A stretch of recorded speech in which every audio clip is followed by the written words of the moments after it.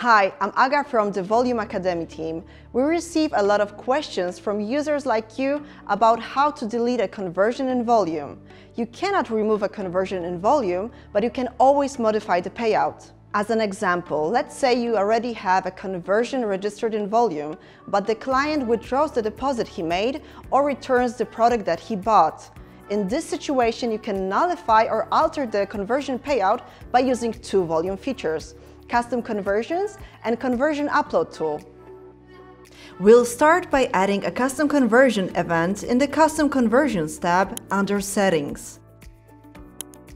Name your custom conversion. I recommend naming it Correction to ensure that this custom conversion name differs from other conversion types. Add a parameter value. It can be the same as your conversion name. And tick the box to include in the revenue column. To not affect the number of conversions reported, make sure the option Include in Conversions column is not selected. This will enable you to nullify the payout that was recorded when the deposit was made. The next step is to get the click ID related to the conversion you want to nullify. Go to the report of your campaign. Click on the Conversions tab then copy the click ID of the particular conversion whose payout you want to modify, or reset and check the amount in the revenue column. When you have your click ID ready, you can update the conversion payout. Go to Settings, click on the Conversion Uploads tab.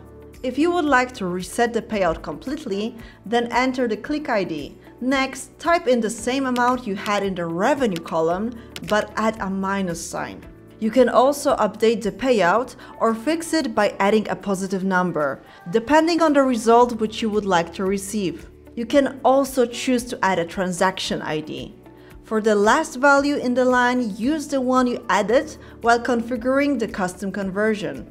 Remember to separate all values with a comma and if you haven't added a transaction ID, put two commas after the revenue part. If you would like to fix the payout for a few click IDs at once, you can do that by adding each click ID along with the correct values and conversion name in a new line.